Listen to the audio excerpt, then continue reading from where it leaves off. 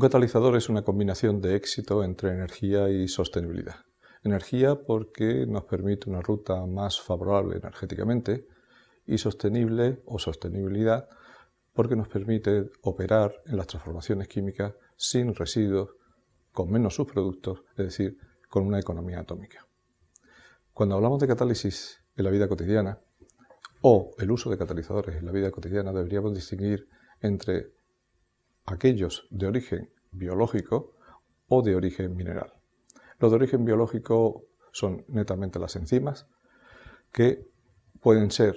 o pueden utilizarse desde la producción de edulcorantes, como la típica sacarina, a la fabricación de detergente en que intervienen más de 8 de estos elementos, o bien en la fabricación de fármacos. Sin embargo, los de gran tonelaje, que son aquellos que podríamos denominar de origen mineral,